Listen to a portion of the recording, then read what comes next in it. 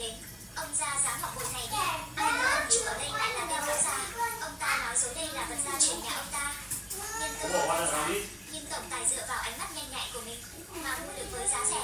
Cô gái cầm đi ngọc bội trong tay Ký ức trở về hai năm trước. Từ nhỏ cô gái đã sống ở rừng.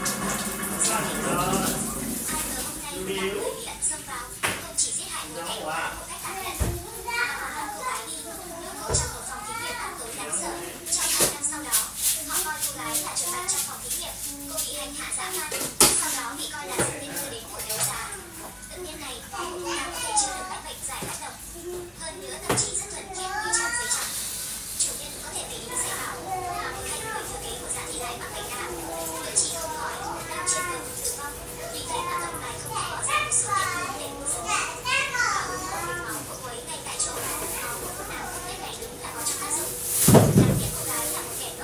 those out.